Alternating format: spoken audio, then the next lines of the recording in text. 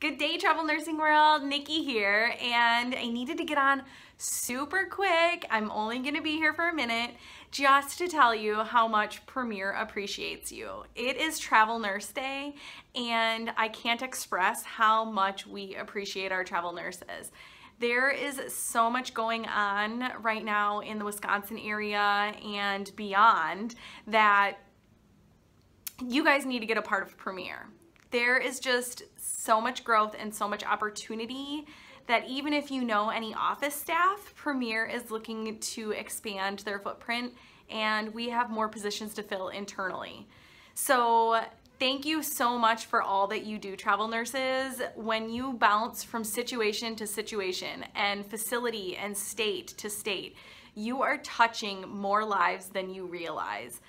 Yeah, you're helping that person that's in the bed that you're dealing with their patient care at this very moment, but you're also changing lives within the units and within the relationships that you're building. So thank you very much, travel nurses, for what you do, how you change the industry, and being a little bit more forward thinking in how you're gonna help the next patient, the next facility, and the next state when you move from location to location.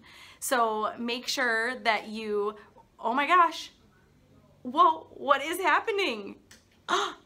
Oh my gosh, that must be the missed contract slipping through your fingers that you could be hanging out with Premier. I can't believe it's Friday the 13th and Travel Nurse Appreciation Day. So you guys have fun with it. Enjoy your day. And if you want to hear some positivity, give Premier a call and we'll tell you how much we appreciate you, even if you're not a Premier employee. 1-800-439-7012. And make sure you have so much fun with today's date being October 13th and a Friday, and you don't miss out on those opportunities as well. Have a great day, Travel Nursing World. Happy day.